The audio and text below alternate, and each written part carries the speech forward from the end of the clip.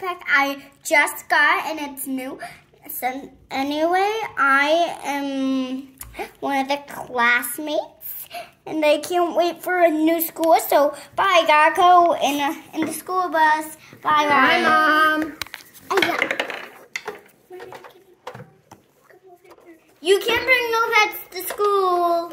I know, I don't have a pet. Who else is coming to school? No, I don't see who's coming to school. Nina, actually, but they need to see the part where they're buying a pet.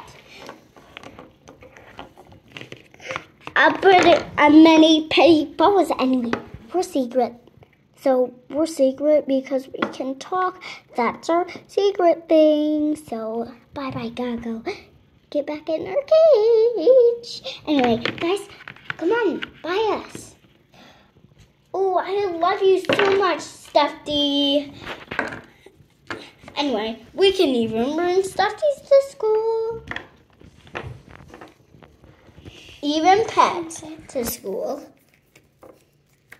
Oh, hi, I'm going to school with my Stuffy. Stuffy's right in my backpack. Actually, Aubrey, can since she's the older kid, can she have the tiny backpack?